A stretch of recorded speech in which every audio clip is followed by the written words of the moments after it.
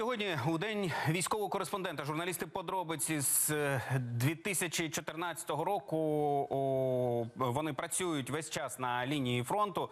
І наш Руслан Сміщук він був у Донецькому аеропорту під час боїв за нього. Ми знімали і Дебальцево, Мар'їнко, оборону Сєвєродонецька, Лисичанська, звільнення наших територій.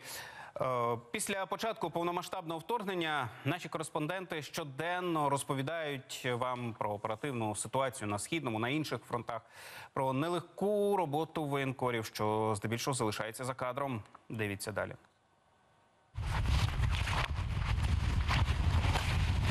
Наш водій, дядя Вовік, Володимир Гуменюк, готується до ривку на позиції. Дороги прострілюються, їздити треба швидко, при цьому не розбитися і не вилетіти на заміновану ділянку. Саме так тут кожен місяць гинуть і вояки, і цивільні. У руках водія в буквальному сенсі життя знімальної групи. Наші водії, чоловіки мовчазні, але надійні як гравітація. Зараз Володимир везе на зйомку наших воєнкорів Стаса Кохарчука і В'ячеслава Ромадана. Стас працює на війні з 14-го року. Це фронтова Авдіївка. Зараз хлопці знімають тут. Ми маємо показувати суспільству, як воює наша армія, які злочини скоюються москалями на нашій рідній землі, і показувати правду. Якщо припиниться інформаційний супровід наших збройних сил. Я вважаю, що частина суспільства, яка зараз знаходиться на відносно мирній території, вона просто-напросто не буде реагувати на те, що відбувається тут на фронті. Повномасштабне вторгнення Стас зустрів тут на Донбасі і працював у вкрай важкі моменти війни. Ну а доки щонайменше одна наша група завжди працює на фронті. Інші мої колеги воєнкори відпочивають після ротації, як Ігор Лівінок. Він був на сході до Стаса. Я ненавиджу війну, ненавиджу її так, як може це робити людина, в якої майже 9 років нормального життя ця війна проклята забрала. Забрала багато друзів, знайомих, родичів. Тож, коли вам говорять, що воєнкори на війні женуться за якимись смаженими фактами, не вірте цим людям. Війна приносить лише лихо та горе, і нам спостерігати за цим дуже боляче. Ну а в студії, в кадрі, як кажуть телевізійники, працюють мої колеги-ведучі. Вони теж час від часу бувають на передовій. Ірина Баглай одна із таких. До того з 14-го року вона працювала на фронті. без підготовки в екстремальних умовах. е, Просто треба було стати в кадр. Але я не вважаю, що я повішала бронежилет на цвях, тому що я їздила. Е, Звісно, це не регулярні поїздки ротація, але я вже їздила і у Харків, і під Ізюм, і в Лисичанськ, коли вже це останній заїзд був. Е, Тому в будь-який момент, е, в принципі, я готова Нащо на це питання Іра відповідає так. Війна це кров, бруд і нічого романтичного. Мене затягували люди, тому що на війні це відкритість, чесність і немає часу для гри, для маски. Там все щире. Під цим підпишеться кожен з нашого цеху, бо це свята правда.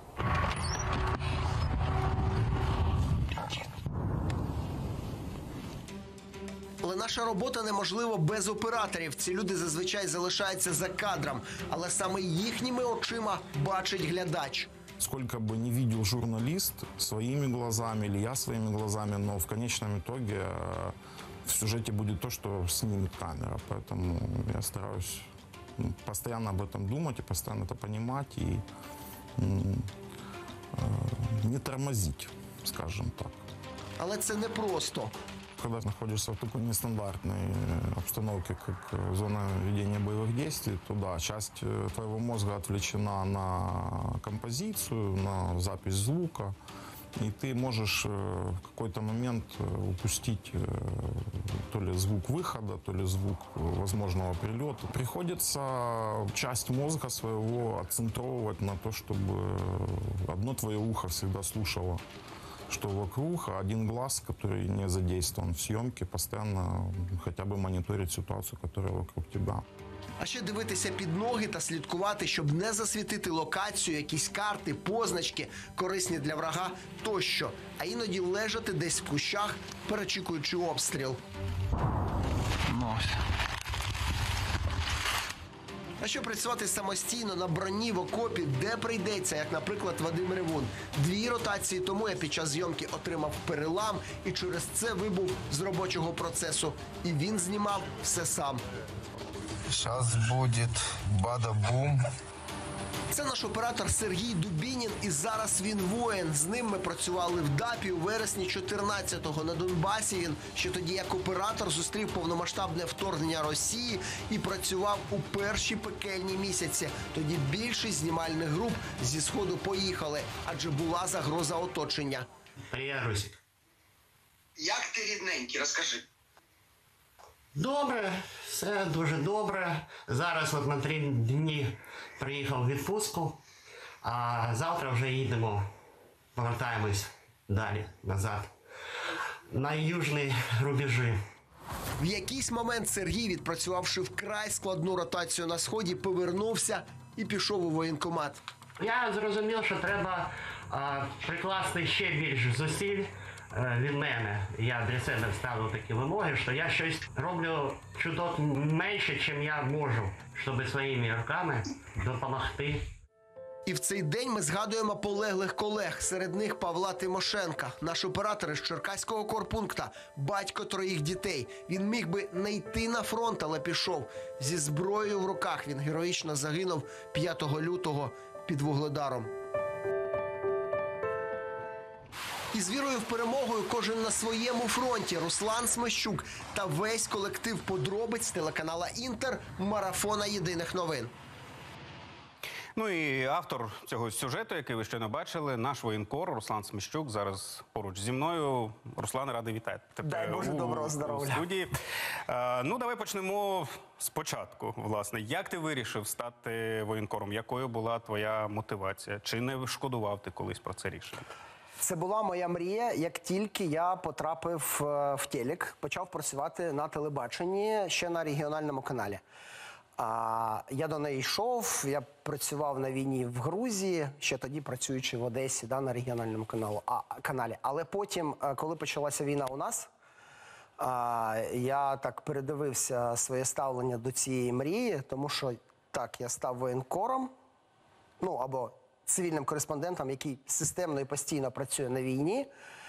А, але я зрозумів, що можливо я не хочу такої мрії вже, тому що ну, війна це страшно, і там одна справа знімати війну десь в іншій країні, а інша справа знімати краї... війну в, в себе вдома. Але ти будеш продовжувати цим Я буду продовжувати е, так, е, тому що ну я думаю, що це е, мій обов'язок. А скажи, будь ласка, е, чи думав ти взагалі колись, що твій досвід е, воєнкора знадобиться колись тобі тут, у Києві? Е, Я пам'ятаю перші дні, перші тижні війни, коли росіяни тут буквально на околицях стояли, ти їздив на зйомки. Ти міг собі таке взагалі уявити? Ні, не міг. В мене був момент, це березень 22-го року. Я засік час. Тобто, от я вийшов з студії, сів в машину, і через 35 хвилин я опинився в тому місці, де там тут валяються трупи росіян, тут стоять спалені танки, а тут ми біжимо вже у підвал е, ховатися, тому що артилерія російська починає е, стріляти, і там десь воно досить близенько падає. І я от стою, усвідомлюю цю всю картину і розумію, що блін, раніше, щоб потрапити на війну, треба було їхати там на Донеччину, да, чи на Луганщину, тобто ну там день їхати, а тут півгодини, і ти вже на війні. От сильно тоді пробило і ну, життя бентежне. Ну, ти хоч і воєнний кореспондент, але в першу чергу кореспондент. Ти тут на ротації знімаєш звичайні, так би мовити, цивільні сюжети. А, їздиш. Скажи, це накладає те, що ти е, воєнкор, якийсь відбиток на, на твою роботу на, е, на, на- під час роботи над такими сюжетами? Я думаю, накладає, тому що ну є деформація особистості. Да? Це е, добре вивчений процес психологами. А, але, мабуть, я більшість цих деформацій можу і е, не помічати. І це помічають мої колеги, там, зокрема, ти. Ну, може, він трохи дивний. І там на певні моменти, як то звук чи уявна загроза, е, реагує якось по-іншому, да, більш, е, більш серйозно. Ну, я намагаюся, наприклад, е, там. Навіть коли йду просто піхом по місту, так вибудовувати маршрут, щоб весь час це я нещодавно от е, зрозумів, е, бути прикритим якимось будівлями, там орієнтуватися на дві точки у просторі, щоб е, розуміти, де я чітко йду. Ну, От, от такі моменти. Ну, це зараз в будь-якому разі має сенс навіть у Києві, бо ракета може прилетіти Або будь-куди, власне. так. А, ще хотів тебе спитати завжди оці- зведення генштабу, там де ворог веде наступальні дії, оці канцелярські фрази, там е, йдуть тяжкі бої. Що за ними стоїть в реальності? За цією фразою, що відбувається там на передовій, коли ну, пишуть оці фрази у зведенні? Отут, я думаю, і є сама сутність нашої роботи, да, цивільних репортерів, які працюють на війні.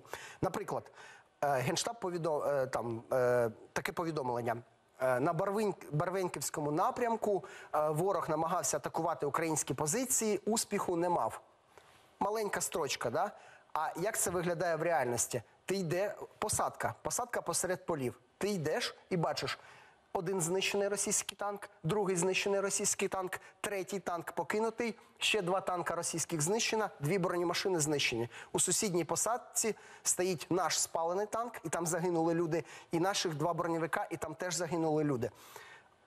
От це е, ворог не мав успіху. Це лише от одна битва за посадку. Так, вона важлива от на, на цій ділянці, тому що вона там на висоті, да? і хто її контролює, той краще стріляє.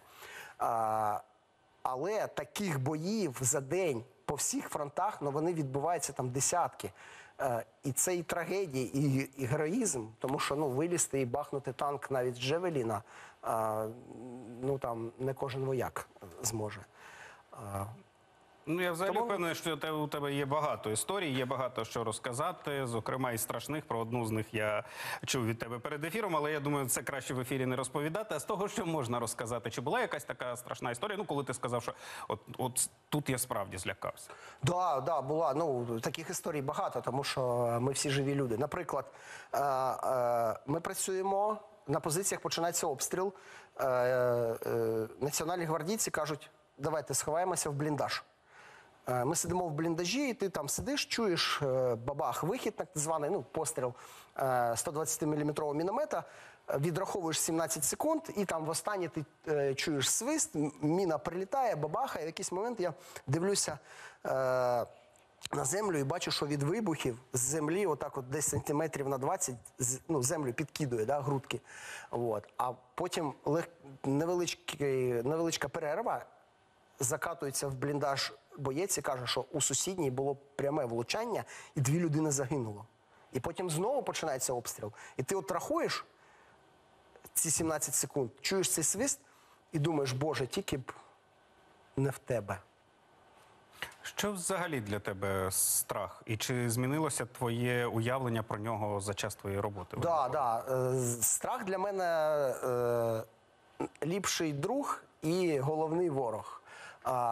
Я розділяю страх на, на дві частини. Перше це фізіологічний страх, ну там тремтять руки, е, там опісятися може навіть. І таке буває. І в цьому нічого немає. Мене не було, але ну, в цьому нічого немає там постидного якось. А інше це страх е, розумовий, такий уявний. І от тут десь е, я зрозумів, що люди 80% бояться того, чого з ними ніколи не станеться. А, і якщо перший фізіологічний страх це норм, це твій бро, який підказує тобі, ну щоб ти просто не загинув, да, там допомагає десь. То цей уявний страх розумовий, він тобі ворог, тому що він е, твою особистість, якщо він тебе переможе, може просто розкласти і перемогти. Будемо боротися з нашими ворогами. Е, Безумовно. Будемо перемагати. Е, Це був Руслан Сміщук, військовий кореспондент. Я дуже дякую тобі за і за твою роботу, і за те, що ти прийшов і поговорив з нами тут у студії.